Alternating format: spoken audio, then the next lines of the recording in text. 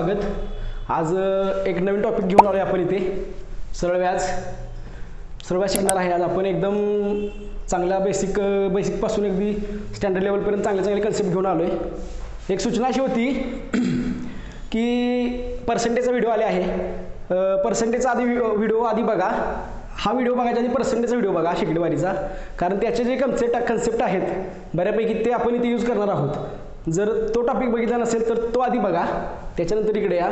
नाहीतर तुम्हाला थोडा प्रॉब्लेम येणार आहे. आणखीन एक पर्सेंटेजच्या क्वेश्चनची पी डी एफ डिस् डिस्क्रिप्शनमध्ये दिली आहे परत. लेक्चर झाल्यानंतर. ती तुम्ही डाउनलोड करा. ते क्वेश्चन पुन्हा एकदा सॉल्व करून बघा. ओके तर सुरुवात करूया. सरळ व्याज. Simple interest simple interest simple म्हणजे साधा. सरळ. इंटरेस्ट म्हणजे इंटरेस्ट म्हणजे व्याज. इंटरेस्टचा इथे अर्थ व्याज असा घ्यायचा आहे अंकगणितामध्ये तर व्याख्या बघा कशी आहे सिंपल इंटरेस्टची फक्त मुदलावर आकारल्या जाणाऱ्या व दरवर्षी सारख्याच असणाऱ्या व्याजाला सरळ व्याज असे म्हणतात. अशी व्याख्या आहे. एकदम बेसिकपासून अगदी स्टँडर्ड लेवलपर्यंत तुम्हाला सांगणार आहे. व्याख्या अगदी समजून सांगतो तुम्हाला आता. सरळ व्याज. Is equal to direct direct formula घेतोय. त्याच्यानंतर तुम्हाला step by step by explain करतो. P R T upon hundred सगळ्याच म्हणजे इंटरेस्ट पी म्हणजे प्रिन्सिपल प्रिन्सिपल आर म्हणजे रेट टी म्हणजे टाईम मराठीत बघा प्रिन्सिपल म्हणजे मुद्दल. आर म्हणजे रेट म्हणजे दर व्याजदर किती आहे? टी म्हणजे टाईम म्हणजे मुदत. तर मुदत जी असते आपली ती इयरमध्ये घ्यायची आपल्याला. शक्यतो कन्वर्ट करून घ्यायची इयरमध्ये जर महिन्यामध्ये दिली असेल तर भागिले बारा करायचं आहे. जर दिवसामध्ये दिली असेल तर भागिले तीनशे पासष्ट. ओके? याचा कन्सेप्ट तुम्हाला नंतर आणि सांगतो मी. रेट जो आहे तो पर्सेंटमध्ये असतोच आपला. प्रिन्सिपल तुम्हाला एक्झाम्पलमध्ये दिलेलं असते तर हे झालं सरळ व्याज. आणखीन एक फॉर्म्युला आहे. रास. अमाऊंट रास म्हणजे amount amount is equal to सरळ व्याज अधिक मुद्दल. P I amount is equal to P plus I हा झाला बेसिक फॉर्म्युला पण मी तुम्हाला मागच्या व्हिडिओमध्ये सांगितलं होतं की मी कोणताही टॉपिक असा तुम्हाला फॉर्म्युल्याने वगैरे शिकवणार नाही. एकदम आपण मेंटॅलिटी जी आपण मेंटॅलिटी सोडव प पद्धत त्यापर्यंत तुम्हाला सा- शिकवणार आहे मी. ओके? फॉर्म्युला लिहिलं असेल तर कॉपी करून घ्या. याचा आपण यूज शक्यतो करणार नाही. एखाद्या क्वेश्चनमध्ये तुम्हाला एक गोष्ट सांगतो आणखी जिथे सगळ्या ट्रिक फेल होतात.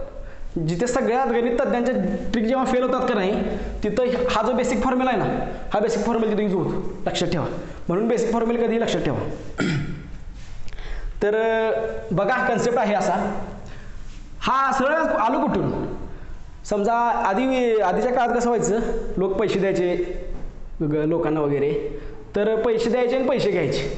पण त्याचा फायदा काय मग? जो पैसे देणार त्याला फायदा काय? मग त्याच्यानंतर त्यांनी हे सरळ व्याज आणलं. आणि त्याच्यानंतर चक्रवाढ व्याज आणलं. तर अं, व्याज मग तुम्हाला व्याख्या सांगितली मी. फक्त मुदलावर आकारल्या जाणाऱ्या आणि दरवर्षी सारख्याच असणाऱ्या व्याजाला सरळ व्याज म्हणतात. समजा तुम्ही एक हजार रुपये जर घेतले किंवा दिले दहा टक्के दराने. दहा टक्के दराने कोणाला जर दिले आणि कुणाकडून जर घेतले सरळ व्याजाने बरं का? तीन वर्षासाठी. तर तुम्हाला किती व्याज द्यावं लागेल माहिती आहे का फर्स्ट इयरसाठी दहा टक्के व्याज असणार. सेकंड इयरसाठी सुद्धा दहा टक्केच असणार. आणि थर्ड इयरसाठी सुद्धा दहा टक्केच असणार. दहा टक्के. टोटल तीस टक्के व्याज तुम्हाला या मुद्दलवरती तुम्हाला पे करावं लागणार आहे किंवा तुम्हाला मिळणार आहे. दहा टक्के म्हणजे किती? एक हजारचे दहा टक्के पर्सेंटेजमध्ये सांगितलेलं आहे. कसं काढायचं? हे शंभर टक्के आहेत. एक इथे एक पॉईंट दिला की ते दहा टक्के होतात. म्हणजे शंभर. हे दहा टक्के दहा टक्के दहा टक्के. टोटल तीनशे रुपये. सांगण्याचा उद्देश एवढाच आहे इथे. एक हजार रुपये तुम्ही उधार घेतले किंवा दिले दहा टक्के दराने तीन वर्षासाठी किंवा दोन वर्षासाठी तर दरवर्षी first year second year third year किंवा फर्स्ट इयर सेकंड इयरसाठी दहा टक्के दहा टक्केच व्याज असणार आहे. आणि हे याच्या याच्यामध्ये काय बदल होणार नाही. शंभर शंभर दरवर्षी शंभरच असणार आहे. पण चक्रवाढ व्याजामध्ये काय होतं माहिती आहे का? हे ज- हे दहा टक्के होतात. प पहिल्या वर्षी दहा टक्के व्याज मिळणार बरोबर? मग ते अमाऊंट रास किती होणार? अकराशे रुपये. तर चक्रवाढ व्याजामध्ये काय होतं? याच्यावरती सुद्धा व्याज आकारलं जातं. चक्रवाढ व्याजामध्ये. तसं सरळ व्याजामध्ये नाही. त्यामुळे सरळ व्याज हा कन्सेप्ट सोपा आहे चक्रवाढ व्याजापेक्षा. आणि हा फास्ट सॉल्व होतो याच्यापेक्षा चक्रवाढ व्याजापेक्षा. आता ह्याच्याबद्दल काय ज्या सांगणार नाही चक्रवाढ व्याजाबद्दल. फक्त हा कन्सेप्ट बघा. समजणार नसेल तर पुन्हा बघा. दरवर्षी व्याजदर समान राहणार. व्याज सेम राहणार. एवढाच कन्सेप्ट आहे याच्यामध्ये आणखी तुम्हाला मागाशी मी फॉर्म्युला दिला होता. सरळ व्याजाचा. P R T upon hundred तर याच्यावरती हा जो टॉपिक जो फिरतो ना तो ह्याच्यावरती. रेट रेटवरती सगळं टॉपिक फिरतो. रेट आणि पर्सेंटेज बाकी काही सुद्धा नाही. आणि हे ठा आणि हे टाईम इथे बघा आता कन्सेप्ट कन्सेप्ट बघा. प्रिन्सिपल तुमचं काहीतरी असणार. एक हजार मागाशी घेतलं होतं आपण. रेट दहा टक्के घेतला होता बरोबर. आणि टाईम किती घेतलं होतं? तीन वर्ष घेतलं होतं. बरोबर आहे का? मग दहा गुणुले तीन. आपलं मागाश पी किती होतं? एक हजार. भागिले शंभर. इथे बघा असं तुम्ही आता हे कॅल्क्युलेट करून तुम्ही सर्वच काढू शकताय.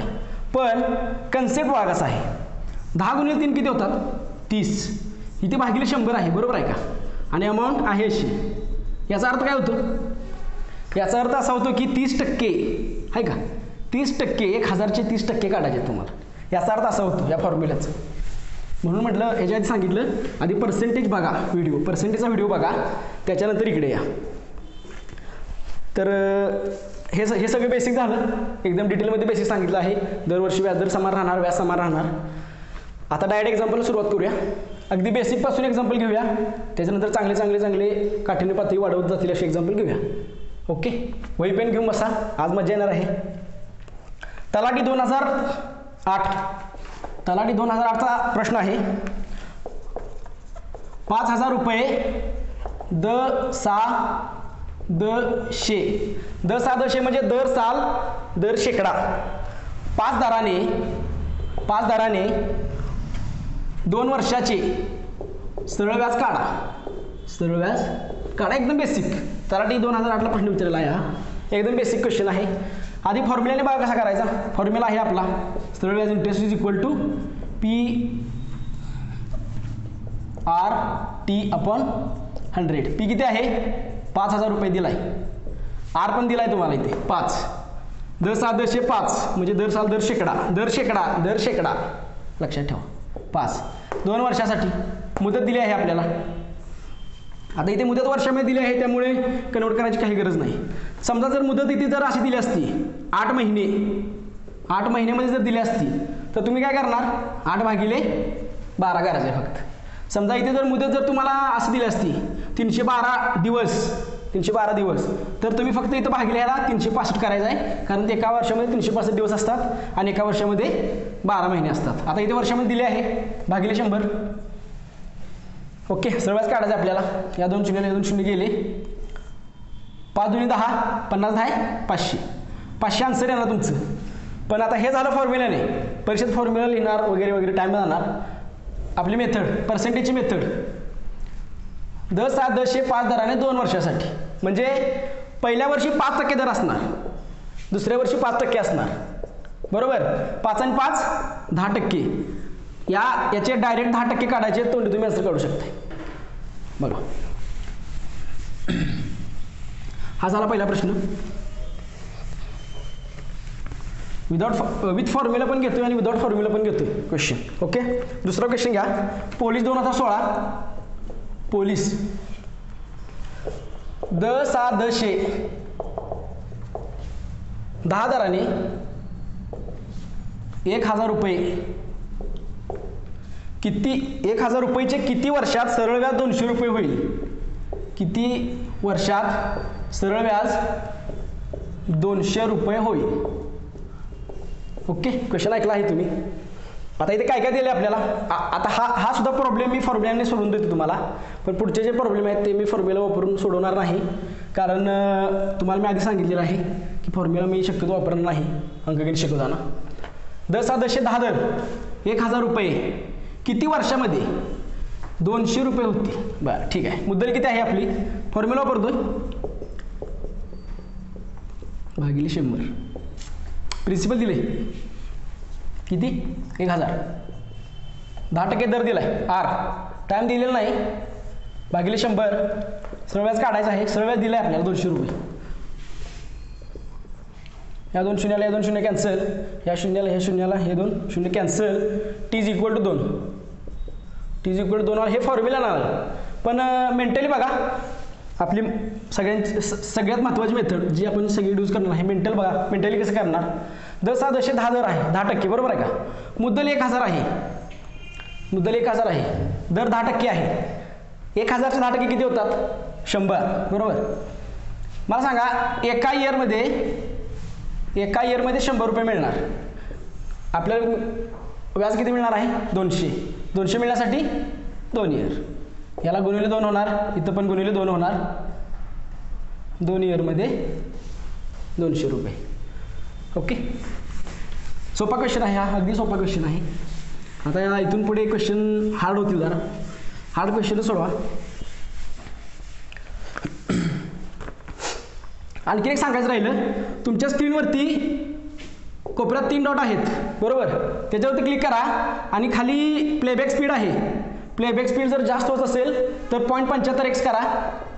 आणि जर स्पीड जर तुम्हाला कमी वाटत असेल तर one point two five X one point five एक्समध्ये तुम्ही बघू शकता व्हिडिओ सगळे व्हिडिओ बघू शकता यूट्यूबचे चांगला यूज करून घ्या यूट्यूबचा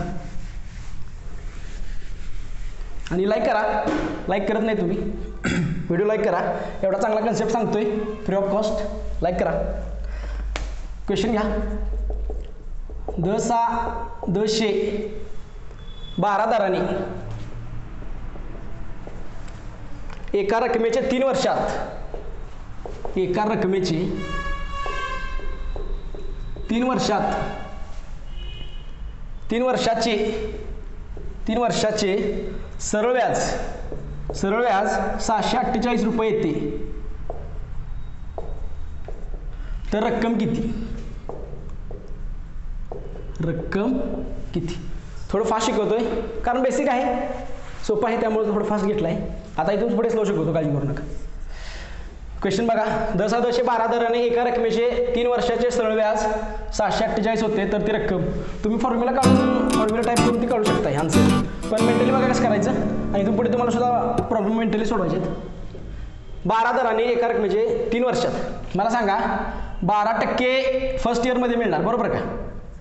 पहिल्या वर्षी बारा टक्के दुसऱ्या वर्षी पण बारा टक्के व्याज मिळणार कारण हे सरळ व्याज आहे. मुदलावर आकारल्या जाणाऱ्या फक्त मुदलावर आणि दरवर्षी सारख्या असणाऱ्या व्याजाला सरळ व्याज. म्हणजे दरवर्षी सारखं असणारं व्याज. पहिल्या वर्षी बारा टक्के सेकंड इयरला बारा टक्के थर्ड इयरला बारा टक्के. थर्ड इयर टोटल व्याज किती झालं? छत्तीस टक्के. बरोबर? छत्तीस टक्के व्याज मिळणार किती वर्षात? तीन वर्षात. आणि सरळ व्याज तुम्हाला दिलं इथं सहाशे अठ्ठेचाळीस रुपये. तीन इयरमध्ये सहाशे अठ्ठेचाळीस रुपये होतात. बरोबर?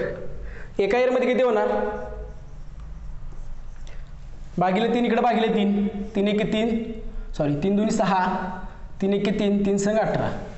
एका वर्षामध्ये बारा टक्के जे व्याज मिळतं. ते दोनशे सोळा आहे. इक्वेट करायचं आहे जुनी मेथड आपली. पर्सेंटेजमध्ये शिकवलेली मेथड आहे.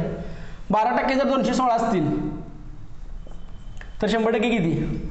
आता याला बाराने भाग जातोय का बघा. बहुतेक जात नाही. तिने जातोय. कसोट्या पाठ असतील तर बघा. कसोट्या पण तुम्हाला शिकवतो नंतर. सहा तीन नऊ. तीनने भाग जातोय. तीन चौक बारा. चार टक्के इज इक्वल टू तीन सत्ते एकवीस तीन दोन्ही सहा.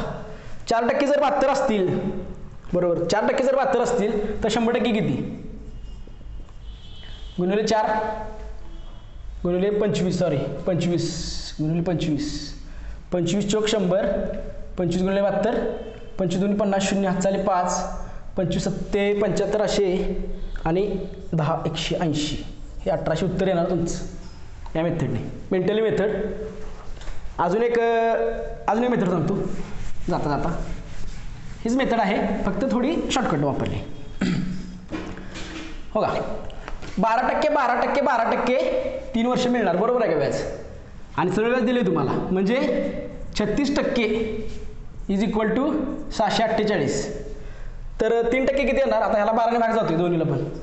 बारा त्रिक छत्तीस. तीन टक्के इज इक्वल टू बारा पंचे साठ बारा चौक अठ्ठेचाळीस. तीन टक्के इज इक्वल टू एवढं. आणखीन ह्याला बा तीन भाग जातोय अजून. एक टक्के इज इक्वल टू तीन एके तीन. तीन एके तीन तीन अठ्ठे चोवीस. अठरा अठरा. एक टक्के इज इक्वल टू अठरा. शंभर टक्के किती? काय नाही दोन झिरो दोन झिरो अठराशे. अजून एक मेथड सांगतो क्वेश्चनची लेवल बघा. सर्वात सोपा आहे. सर्वात एवढा अवघड नाही. नेक्स्ट क्वेश्चन चांगले दहा क्वेश्चन घेऊन आले आज मी. मस्त क्वेश्चन आणलेत. पंचवीसशे रुपये मुदलाचे द सहा दशे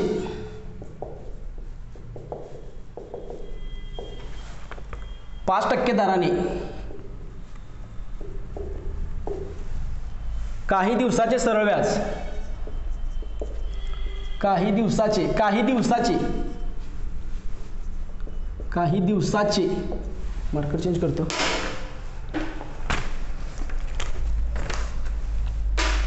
काही दिवसाचे सरळ व्याज एकशे पन्नास रुपये होते. एकशे पन्नास रुपये होते.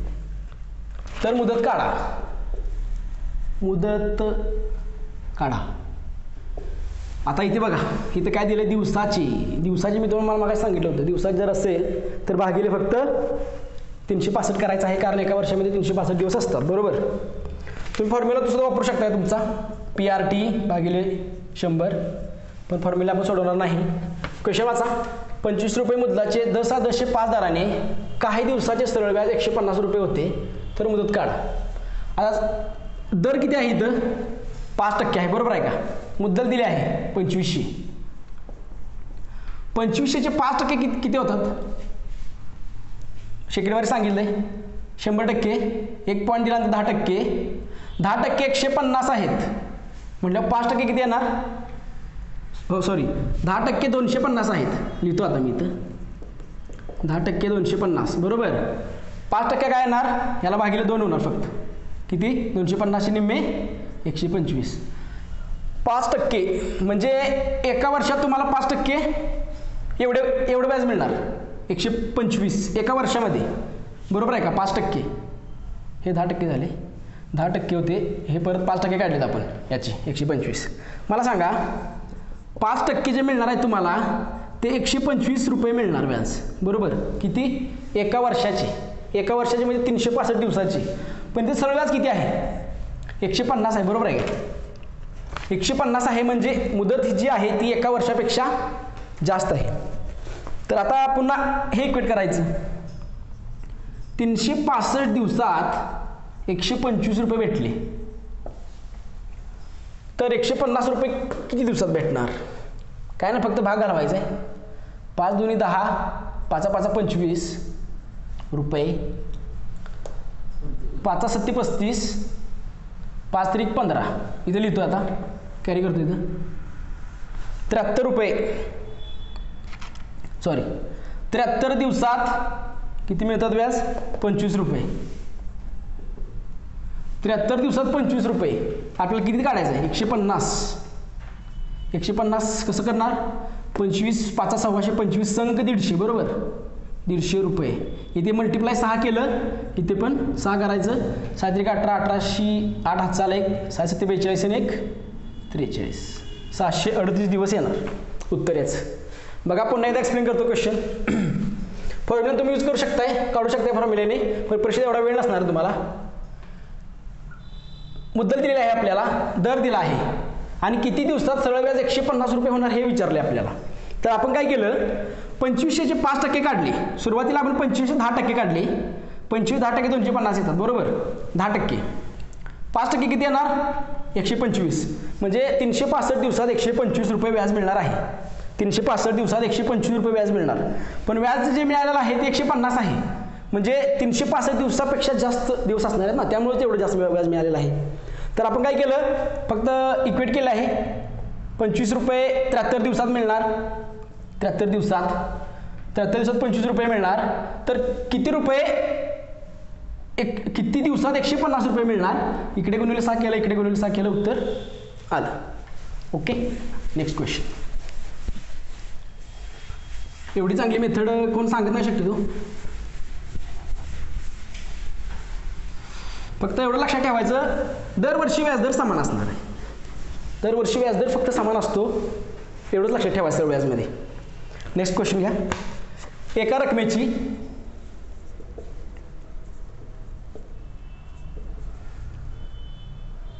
पाच वर्षांनी वायर म्हणजे इयर वर्ष. पाच वर्षांची रास दोन हजार रुपये. व हा क्वेश्चन चांगला आहे. तीन वर्षाची तीन इयरची रास. अठराशे रुपये होते. तर व्याजाचा दर आणि मुद्दल शोधा. तर आर व्याजाचा दर आणि मुद्दल म्हणजे पी प्रिन्सिपल पी म्हणजे प्रिन्सिपल आर म्हणजे रेट आणि टी म्हणजे टाईम पिरियड इयरमध्ये काढायचा असतो. घ्यायचा असतो आपल्याला आणि आय म्हणजे इंटरेस्ट म्हणजे सरळ व्याज. ओके क्वेश्चन बघा. व्हिडिओ पॉज करा.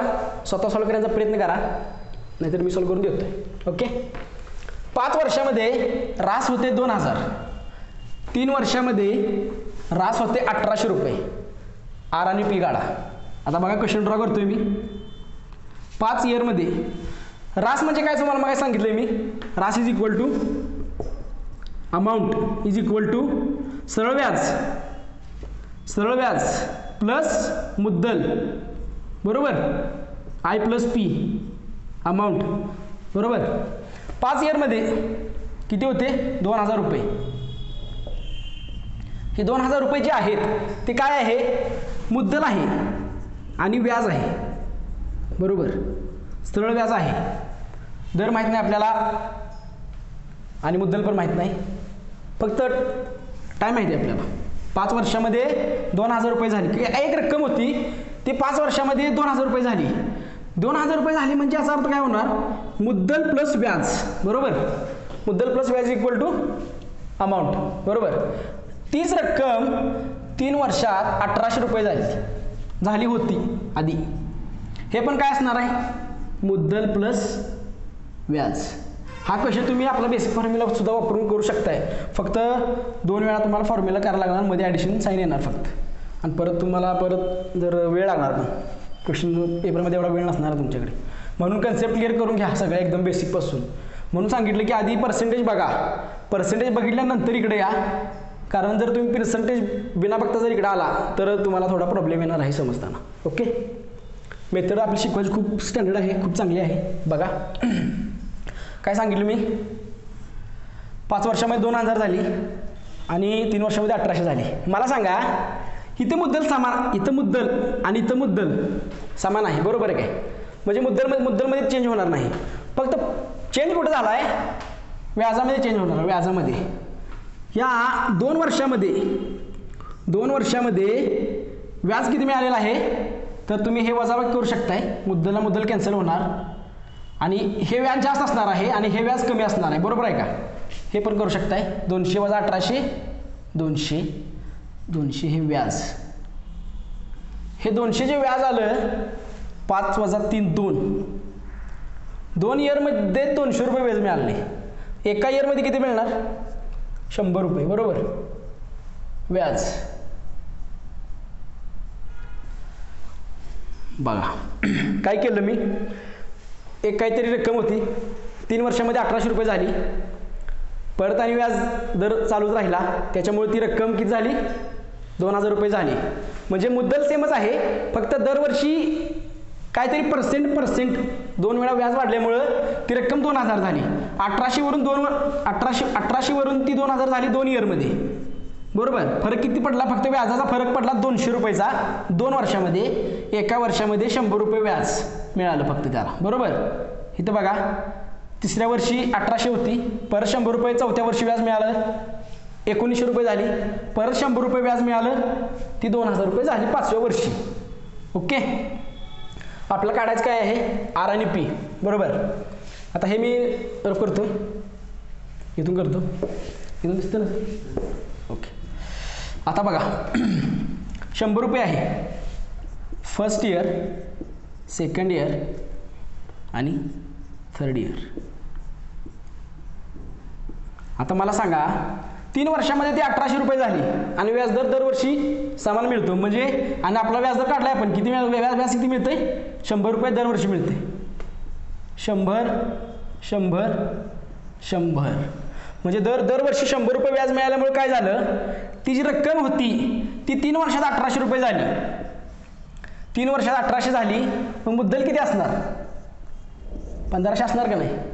पंधराशे मुद्दल होती शंभर रुपये व्याज मिळालं शंभर रुपये व्याज मिळालं शंभर रुपये व्याज मिळालं तीन वर्षी आणि ती झाली अठराशे.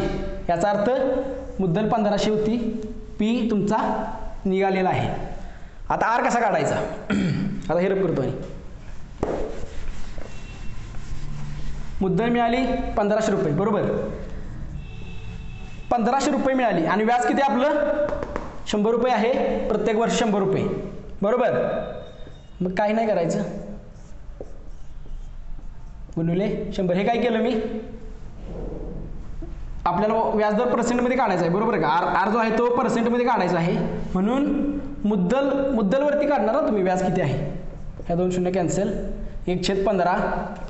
एक छेद पंधरा किती असतात? बरोबर आहे ना? येस एक छेद पंधरा इज इक्वल टू किंवा शंभर भागिले पंधरा. पंधरा संग नव्वद राहिले दहा. पंधरा संग नव्वद सहा पॉईंट साठ टक्के व्याजदर येणार. हे जर तुम्ही जर त्या दोन प्रॉब्लेमला सॉल्व्ह करत बसला तर ही रक्कम याला थोडा तुम्हाला त्रास देणार. म्हणून ही मेथड सांगितली. आणि हीच मेथड सगळी वापरायची तुम्ही. क्वेश्चन जर समाधान असेल तर पुन्हा व्हिडिओ प्ले करून बघा. पर्सेंटेजचा पण आपण काही कन्सेप्ट इथे यूज करतोय. टॉप आता क्वेश्चन बघा कसा होता हा? तीन वर्षामध्ये अठराशे रुपये झाली पाच वर्षामध्ये पंधराशे रुपये झाली. फक्त व्याजाचा फरक पडला मुद्दल समानच राहिली. त्यामुळं आपण परत कॅल्क्युलेट केलं आहे शंभर रुपये व्याज आलं प्रत्येक वर्षाचं. परत शंभर रुपये व्याज आलं त्यामुळे शंभर शंभर शंभर तीन वर्ष मिळणार बरोबर. त्यामुळे त्याच्यावर आपण मुद त्यावर आपण मुद्दल काढली. मुद्दल वा मुद्दल काढल्यानंतर परत आपण रेट काढला. मुद्दलवरती किती पर्सेंट आहे तो? ओके नेक्स्ट क्वेश्चन घ्या. एक रक्कम पाच इयरमध्ये तीन पट होते. आता हे क्वेश्चन असले चालू झाले बघा. हा नवीन अजून एक प्रकार आहे याच्यामध्ये. एक रक्कम. सगळे प्रकार कवर केले जातील. काही सुद्धा काळजी करू नका. प्रत्येक टॉपिकमध्ये मिनिमम तीन चार तीन चार टाईप असतात. क्वेश्चनचे फक्त बेसिकवर नसतात. त्याच्यामध्ये थोडे फिरवून फिरवून टाईप असतात. सगळे टाईप घेतले जातील. काळजी करू नका. एक रक्कम पाच इयरमध्ये तीन पट होते. होते. तर त्याच दराने किती वर्षात ती सात पट होईल? किती वर्षात ती सात पट होईल? अक्षर समजते ना? ओके. क्वेश्चन बघा. चांगला क्वेश्चन आहे. मस्त क्वेश्चन आहे. हा नवीन प्रकार आहे याच्यामधला. एक रक्कम आहे काहीतरी. आपल्याला माहीत नाही. माहीत नसली तरी आपल्याला रक्कम नाही काढायची. फक्त टाईम काढायचा आपल्याला. पाच इयरमध्ये तीन पट होते. मेंटली सॉल्व करतोय. बघा. तोंडी सॉल्व करायचं सगळे प्रॉब्लेम आपल्याला.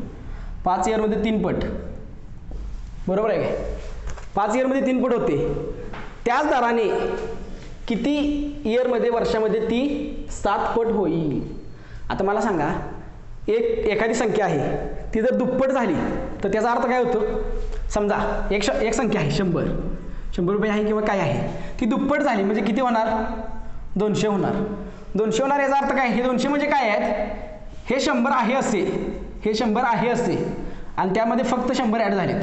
बरोबर? म्हणजे मुद्दल आहे अशी आहे त्याच्यामध्ये फक्त आणखीन हे ॲड झालेलं आहे. म्हणजे तीन पटच झालं म्हणजे काय झालं? ही मुद्दल. मुद्दल आहे अशी आहे. आणि मुद्दल आणखी दोन वेळा ॲड झालेली आहे. दोन वेळा मुद्दल ॲड झाली. आता तुम्ही मौखिक हे काढला पाहिजे. मुद्दलचा दर किती असणार ते. पण आपल्याला दर नाही काढायचा फक्त वर्ष काढायचे आहेत. पाच इयरमध्ये तीन पट झाली. म्हणजे मुद्दल आणि दोन वेळा मुद्दल. बरोबर? पाच इयरमध्ये दोन वेळा मुद्दल ॲड झाली. बरोबर? आता किती इयरमध्ये एक इयर घेतो. सातपट होईल विचारले. सातपट. बरोबर? आता सातपट म्हणजे काय असणार? मुद्दल आपली मूळची असणार ते असणारच बरोबर? मुद्दल असणार ते असणार पण सहा वेळा मुद्दल त्याच्यामध्ये ॲड होणार. फरक एवढाच. सहा वेळा मुद्दल त्याच्यामध्ये ॲड होणार. बरोबर? हे सांगितल्याप्रमाणे. हे शंभरचं आता इथे काय होणार? आधी शंभरचं किती होत होतं? तीनशे होत होतं. आता शंभरचं किती होत्यात? सातशे. बरोबर. सातशे जे होतात हे तीनशे जे काय आहेत? शंभर प्लस दोनशे आहेत.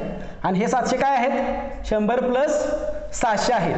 हे दोनशे जे मिळाले ते किती वर्षात मिळालेत? पाच इयरमध्ये मिळालेत. आता हे सहाशे किती मिळणार मग? बेत्रिक सहा पाच त्रिक पंधरा. आन्सर आलं. बघा आणखी इथं बघा आता. हे शंभर घेऊन पण तुम्ही सॉल्व करू शकता असं. आणखी असं पण करू शकता हा हा कन्सेप्ट सांगतो तुम्हाला. सॉल्व करताना तुम्ही असं करायचं आहे हा कन्सेप्ट झाला. पाच इयरमध्ये तीनपट तीनपट झाले झाली म्हणजे मुद्दल आणि त्याच्यामध्ये दोन वेळा मुद्दल ॲड झाली. मुद्दल दोन वेळा ॲड झाली. आणि तर एक इयरमध्ये सात पट झाली म्हणजे मुद्दल आणि सहा वेळा मुद्दल त्याच्यामध्ये ॲड झाली. दोन वेळा मुद्दल ॲड व्हायला पाच वर्ष लागली. सहा वेळा मुद्दल ॲड व्हायला किती किती वर्ष लागणार? बेत्रिक सहा. पाच त्रिक पंधरा. आन्सर पंधरा वर्ष आहे. ओके हा झाला कन्सेप्ट सॉल्व करताना असं करा तुम्ही. ओके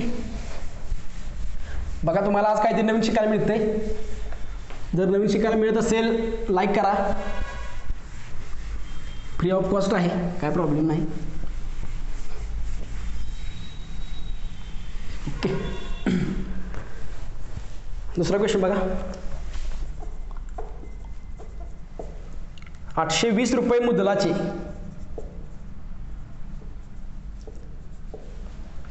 दसा दशे पाच दराने. पाच दराने रेट ऑफ इंटरेस्ट दिलेला आहे पाच टक्के. किती वर्षात सरळ व्याजाने दाम दुप्पट होईल?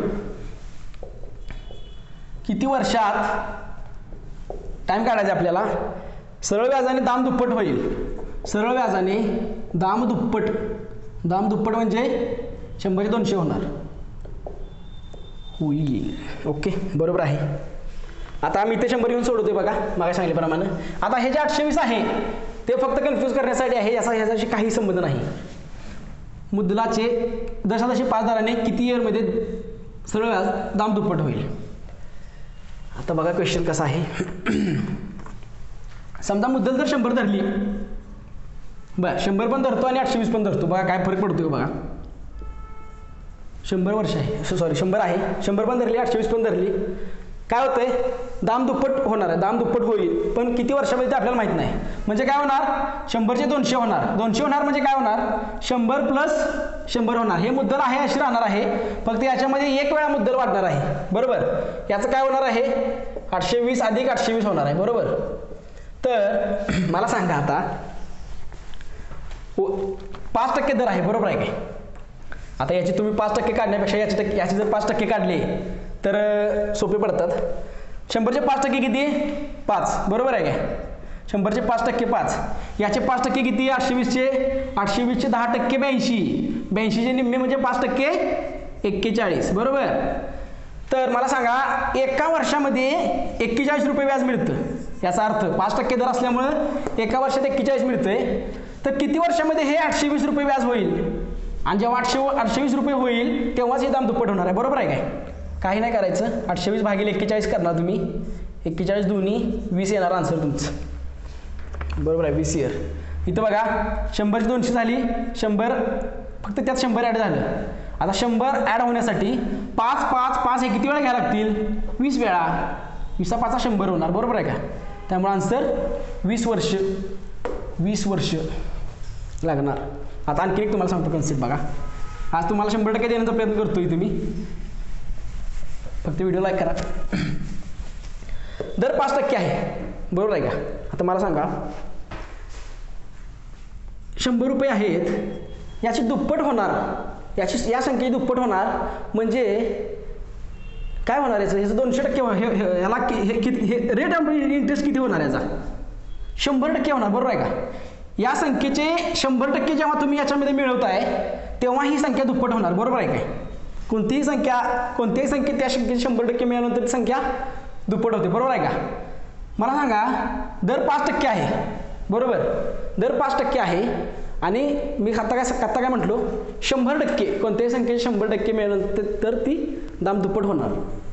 तर पाच टक्के आहे शंभर टक्के होणार आहेत. शंभर टक्के त्यात अजून ॲड करायचे आहेत. मग पाच टक्के पाच टक्के शंभर टक्के होण्यासाठी वीस वेळा लागणार. बघा विचार करा. क्वेश्चन चांगले घेतलेत आज. याच्यापेक्षा अजून हार्ड प्रॉब्लेम येणार आहेत अजून दोन तीन. Okay again new question five one five zero zero रुपये. मुद्दलाचे. मुद्दलाचे. हाच आहे बरोबर. सरळ व्याजाने. सरळ येतोय फक्त. सरळ व्याजाने पाच इयरमध्ये तोच क्वेश्चन आहे वाटतं परत नाही. सरळ व्याजाने पाच इयरमध्ये पाच वर्षामध्ये दाम चार पट चार पट होण्यासाठी हा पण क्वेश्चन चांगला आहे.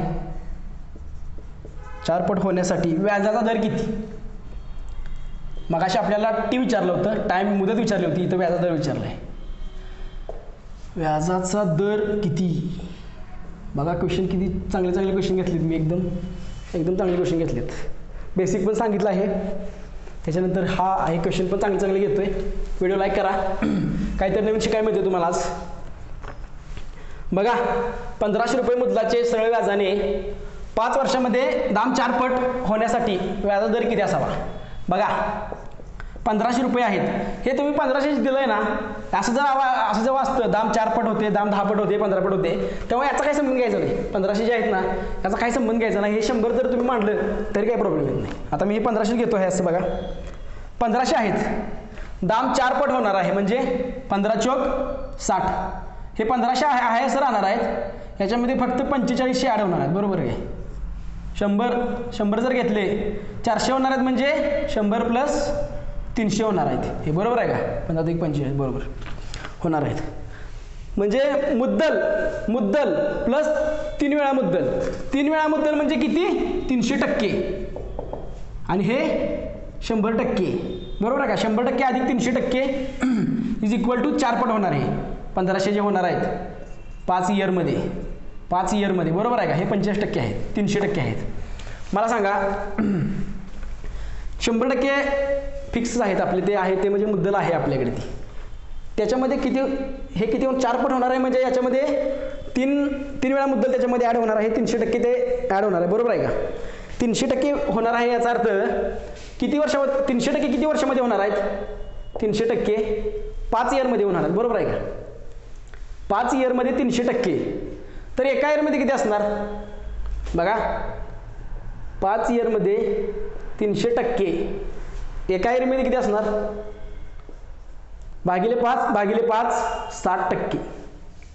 उत्तर तुमचं साठ टक्के येणार.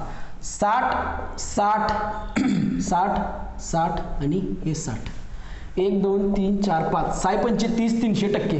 बघा जेव्हा हे तीनशे टक्के मिळणार आहे साठ साठ साठ साठ जेव्हा पाच वेळा ॲड होईल तेव्हाच हे ही दाम जी आहे ती चारपट होणार आहे. व्हिडिओ जर समाधान असेल तर रिप्ले करून बघा. मी आणखीना सांगतोय हे जी मुद्दल जी होती इथं पंधराशे रुपये ती तुम्ही शंभर जरी मांडली तरी काही प्रॉब्लेम नाही. आणखीन एक क्वेश्चन एका रकमेचे सरळ व्याज.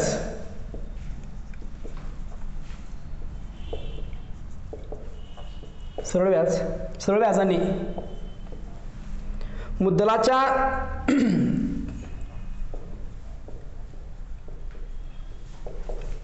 तीन छेद चार पट व्याज मिळाले.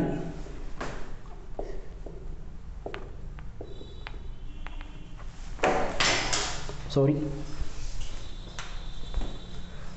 तीनशे चार पट व्याज मिळाले. जर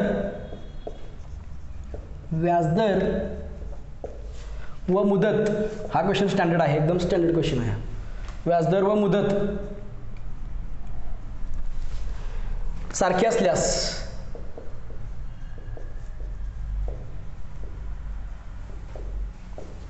सारखी असल्यास व्याजदर काढा. आर काढा. हा जो क्वेश्चन आहे हा क्वेश्चन बुकमध्ये तुम्ही बघायचा. मेंटली सॉल्व करायचा कोणताही फॉर्म्युला वापरायचा. सॉल्व होते का बघायचा? झाला तर चांगलंच आहे. कॉंग्रॅच्युलेशन बघा क्वेश्चन एका रकमेचे स्थळ व्याजाने मुद्दलाच्या तीनशे चार पट व्याज मिळाले. जर व्याजदर व मुदत सारखी असल्यास आर काढा. आता मी तुम्हाला एक मगाशी वाक्य वापरलं होतं. जिथं सगळ्या ट्रिक फेल होतात फेल तेव्हा बेसिक फॉर्म्युला असतो तो यूज होतो. त्याचं उत्तम उदाहरण बघा आता उत्तम उदाहरण. पुस्तकामध्ये आताच एक सेपरेट फॉर्म्युला दिला आहे. पुस्तकामध्ये एका कोणत्या तरी पण फॉर्म्युले लक्षात ठेवायचे नाहीत. कन्सेप्ट लक्षात ठेवायचा आहे. बरोबर? एक रक्कम आहे. काही रक्कम धरा. शंभर धरा. शक्यतो चारने भाग जाणारी संख्या घ्या. चारशे घेतली तरी चालते शंभर घेतली तरी चालते शंभर घेतो. शंभरच घेत जावा शक्यतो. एक जर घेतली तरी चालते. पण आन्सर परत पॉईंटमध्ये जाणार कॅल्क्युलेशन अवघड होणार. बरं. मुद्दल शंभर घेतली मी मुद्दल. एक रक्कम शंभर घेतली. सरळ व्याजाने मुद्दलाच्या तीनशे चार पट व्याज मिळाले. व्याज किती मिळणार? एकदम स्टँडर्ड क्वेश्चन एकदम स्टँडर्ड क्वेश्चन तीनशे रुपये. सॉरी सॉरी सॉरी पंच्याहत्तर रुपये मिळणार. तीनशे पट नाही. पंच्याहत्तर रुपये बरोबर. मुद्दल आहे शंभर रक्कम आहे शंभर. मुद्दलाच्या तीनशे चार पट. शंभरच्या तीनशे चार पट काढलेत. चार पंचवीस पंचवीस त्रिक पंच्याहत्तर. व्याज मिळाले बरोबर. आता बघा. आता व्याजदर आणि मुदत जी आहे ती स- समान असल्यास आर टक्का आर काढा. आता आता इथं बेसिक फॉर्म्युला यूज करावा लागतो इथं विदा विदाउट बेसिक फॉर्म्युला हे गणित सॉल्व होत नाही. सरळ व्याज is equal to P R T upon शंभर. हा तुम्हाला फॉर्म्युला दिला होता बरोबर. इथं काय दिलं आहे दर आणि मुदत. दर आणि मुदत सारखी असल्यास. सारखी म्हणजे R is equal to T R is equal to T आहे. म्हणजे आता जो याची जी व्हॅल्यू आहे ती टी सा टी एवढीच आहे. मग आपण असं लिहू शकतो नाही R is equal to R T is equal to R मग इथं आपण फक्त आर करतो. आर इंटू आर किंवा टी इंटू टी सुद्धा करू शकतो तुम्ही. आपल्याला आर काढायचं आहे, त्यामुळे आरमध्ये फॉर्मॅटमध्ये लिहिली. बघा इथं आपण मुद्दल शंभर मांडली होती. व्याज पंच्याहत्तर मिळालं. फॉर्म्युल्यात पुट करा. याच्यासाठी पुस्तकामध्ये सेपरेट फॉर्म्युला दिला आहे. फॉर्म्युला लक्षात ठेवायचा नाही. हे बघा मेथड बघा कन्सेप्ट बघा. कन्सेप्ट जर लक्षात आला तुमचा चांगला तर तुम्ही फॉर्म्युला लक्षात ठेवू शकता. काय प्रॉब्लेम नाही. पंच्याहत्तर मिळालं. प्रिन्सिपल शंभर आपण मांडलेलं आहे. शंभर. गुणिले आर इंटू आर किती असतात? आर स्क्वेअर होणार. बरोबर. आरचा वर्ग. आर गुणिले आर दहा गुणिले दहा किती होतात? शंभर. शंभर म्हणजे दहाचा वर्ग. तसंच आर गुणिले आर आरचा वर्ग. भागिले शंभर. शंभरला शंभर कॅन्सल इथे घेतो. पंच्याहत्तर is equal to R square आता याचं वर्गमूळ काढा. आता आर काढायचं म्हटलं तर वर्गमूळ काढायला पाहिजे. बरोबर आहे. स्क्वेअर रूटामध्ये पंच्याहत्तर. पंच्याहत्तर मी आता कसं लिहू शकतो आहे पंचवीस तरी लिहू शकतो की नाही? पंचवीस गुणिले तीन या स्वरूपात लिहू शकतो. आर इज इक्वल टू बरोबर? पंचवीसचं वर्गमूळ काय असतं? पाच. तीनचं वर्गमूळ निघत नाही. निघतं पण पॉईंटमध्ये व्हॅल्यू येते. त्यामुळं आहे अशी पुट करायची? हे आन्सर आलं. आर इज इक्वल टू पाच रूट थ्री पर्सेंट बघा काय केलं बघा? आणखी काय समजून सांगतो. एका रकमे सरळ व्याज आणि मुदलाच्या तीनशे चार पट व्याज मिळाले. एक रक्कम मांडली शंभर आपण. काही म्हणू शकता तुम्ही. चारने भाग जाणारी संख्या. शंभर मांडली व्याज किती मिळणार? पंच्याहत्तर. आता मी तुम्हाला पुन्हा सांगतो की ह्या हा फॉर्म्युला वापरल्याशिवाय याचा आन्सर येत नाही. हा फॉर्म्युला वापरा. पी आर आणि टी इक्वल आहेत. त्यामुळे आपण आरच्या फॉर्मॅटमध्ये लिहिलं. आर स्क्वेअर इक्वल टू सगळे व्हॅल्यू पुट केले आणि आर काढलेला आहे. पाच root three percent separate formula लक्षात ठेवायची गरज नाही. बेसिक फॉर्म्युला लक्षात असेल तर विषय क्लोज अशी बरीच बरीच खूप खूप मोठी मोठी उदाहरणं आहेत रिअल लाईफमधली की तिथं महान लोक सांगतात की जिथं सगळ्या मेथड आम्ही फे फेल होतात तेव्हा आम्ही तिथं बेसिक वापरतो. बेसिक जो बेसिक कन्सेप्ट आहे ते वापरतो. ओके. ओके हे गणित समजलं आहे. अजून दोन गणित आहेत. अजून एक गणित सॉल्व करून देतो. एक गणित होमवर्कला देणार आहे. होमवर्कचा आन्सर क्वेश्चनचा आन्सर तुम्ही कमेंटमध्ये टाईप करायचा आहे. ओके क्वेश्चन बघा. चांगला क्वेश्चन आहे. एका रकमेचे व्याज व्याज बॅज त्याच रकमेच्या. चार छेद नऊ पट मिळाले.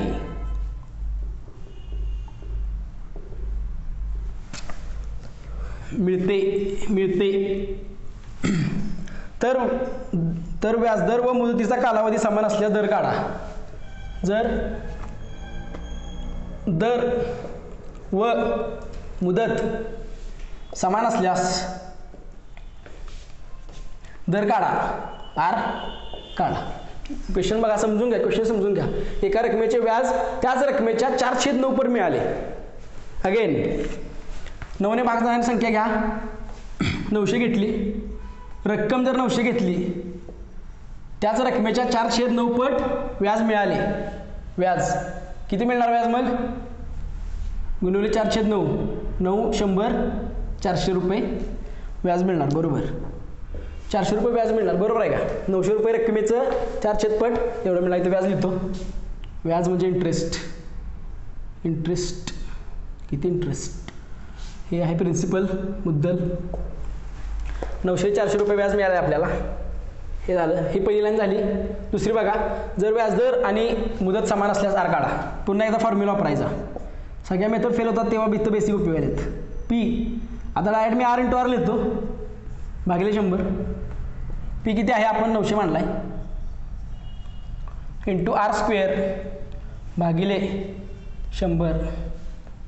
इक्वल टू सरळ व्याज किती झालं आपलं? व्याज किती झाले चारशे रुपये. फॉर्म्युला व्हॅल्यू पुट करायच्या. आणि बाग घालवायचा. हा दोन शून्य दोन शून्य गेलं बरोबर आहे काय काय ना? पक्षांतर होणार हे खाली जाणार. आर स्क्वेअर इक्वल टू चारशे भागिले नऊ. बरोबर आहे का? हे खाली जाणार चारशे भागिले नऊ. आता याचा वर्गमूळ काढायचा आपल्याला. काय करणार? आर इज इक्वल टू वर्गमुळात चारशे भागिले नऊ. चारशेचं वर्गमूळ तुम्हाला माहिती आहे वीस. नऊचं वर्गमूळ तुम्हाला माहिती आहे तीन. आर इज इक्वल टू काय येणार? वीस छेद तीन. वीस छेद तीन येणार. आणि वीस छेद तीन तुम्ही भागालू शकताय. तीन संघ अठरा पर दोन शून्य राहतात पॉईंट देऊन शून्य. सहा पॉईंट सहासष्ट टक्के येतात बघा हे दोन स्टँडर्ड क्वेश्चन घेतले होते मी. बघा. एकदम चांगल्या पद्धतीने सोडून दिलेत एक्झाम्पल बऱ्यापैकी चार पाच टॅप कवर केले याच्यामध्ये. व्हिडिओ कसा वाटतो बघा. जर तुम्हाला आवडला लाईक करा. आणि आणखीन जर तुम्हाला वाटले प्रॉब्लेम घ्यावे तर कमेंटमध्ये तुम्ही प्रॉब्लेम पण पोस्ट करू शकता कमेंटमध्ये सर हा प्रॉब्लेम तुम्ही सॉल्व्ह करून दाखवा. नेक्स्ट व्हिडिओमध्ये आपण तो सॉल्व्ह करून देऊ. होमवर्क होमवर्क घ्या. एक विशिष्ट राशी. एक विशिष्ट राशी.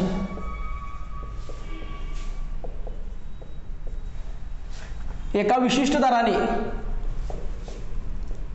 क्वेश्चन पूर्व लिहितो होमवर्क आहे त्यामुळं. एका विशिष्ट दराने चार इयरसाठी चार इयरसाठी गुंतवली.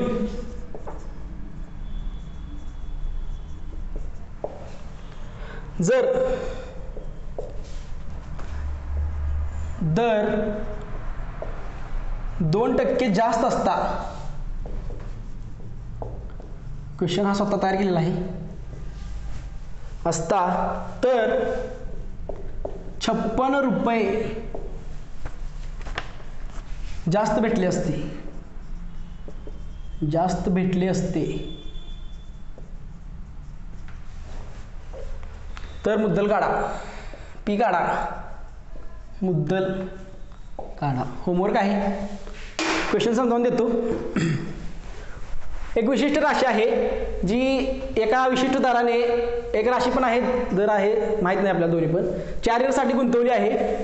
जर दर जर दोन टक्के जर जास्त असता तर छप्पन रुपये आपल्याला जास्त मिळाले असते. तर मुद्दल काढा. काढून आन्सर काढून कमेंटमध्ये पोस्ट करा. कन्सेप्ट घेतलेला आहे बेसिक कन्सेप्ट घेतला आहे. अर्धा एक्झाम्पल घेतले चांगली चांगली ओके व्हिडिओ आवडला असेल तर लाईक करा सबस्क्राईब करा आणि शेअर करा. ओके? खुश राहा हसत राहा. बाय